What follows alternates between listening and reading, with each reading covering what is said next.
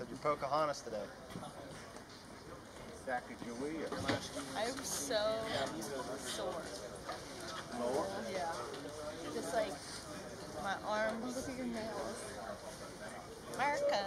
They did look a lot nicer. Get one of these girls to start working. At least we don't have to go straight into a test today. We got like 55 minutes before our first Oh, test. I. Another day, another dollar.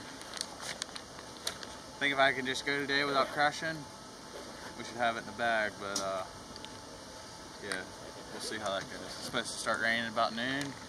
Probably get nice and slippery, so um, try to keep her on two wheels today.